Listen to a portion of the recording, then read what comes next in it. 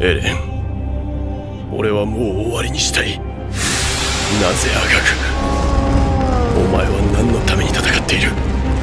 何のために？俺がこの世に生まれたからだ。始祖の巨人と王家の血を引く巨人が揃ってエレンとジークを接触させてはなりません。手を貸すということは安楽死計画を実現させるということだぞ歴史が変わる瞬間はもう間もなくです。ミカサはどうしたい？エレンを助けたいの？悪魔なんていなかった。この島にも人がいるだけ。俺たちはただ進むだけだよな。来い。エレン俺をここまで導いたのはお前なのか？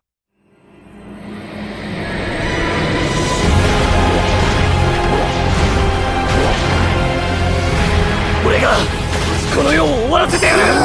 俺に力を貸せ。もういい。これ以上苦しまなくていい。俺は王家の血を引く者だ。進み続けるんだ。死んでも死んだ後も。俺は生まれた時から俺のままだ。